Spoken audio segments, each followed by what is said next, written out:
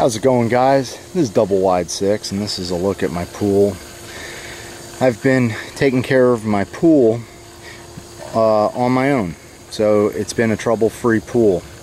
And uh, I haven't been down at the pool store and I've been balancing it myself. I spent the four, first four years with my pool always running down to the pool store trying to figure out if I need pH up, pH down, or shock it. And uh, this year I took control of my pool myself. So if you want to take care of your pool yourself, the first thing that you're going to need is a good test kit. This one here is a Taylor K-2006 complete FAS DPD chlorine test kit. Alright, this kit probably costs about 60 bucks. It'll last you at least a season and even more depending um, how, how much you use it.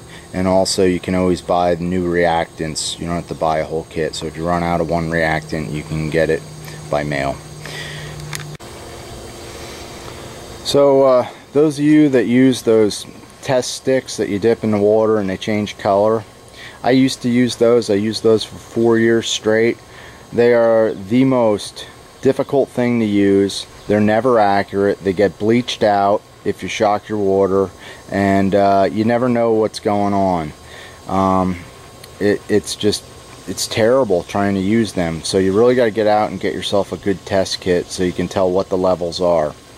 Your test kit is going to be more accurate than the computerized tests that they give you down at the pool store because this test is going to be dead on and you need a good kit. That's why I recommend a Taylor kit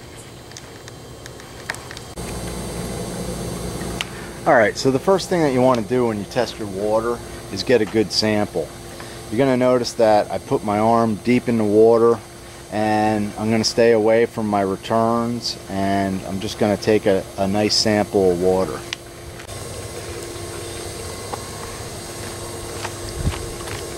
So what you want to do is you want to take your bottle and flip it upside down and form an airlock dip the bottle all the way down in the pool as deep as you can go and then let the bubbles out by tilting the bottle.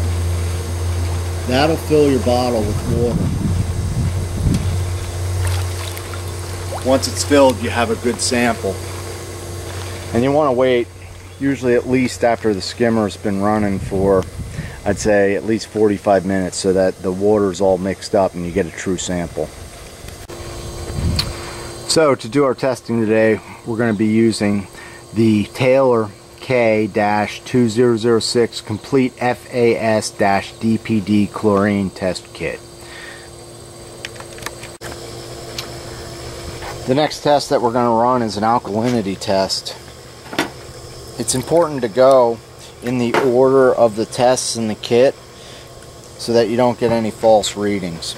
And I'm just rinsing out the comparator. And to do the alkalinity test, we're going to take some test water and we're going to fill it up to the 25 milliliter level on the side of the comparator. So to do this test, you want to take reactant number 7 and you're going to add two drops. One, two.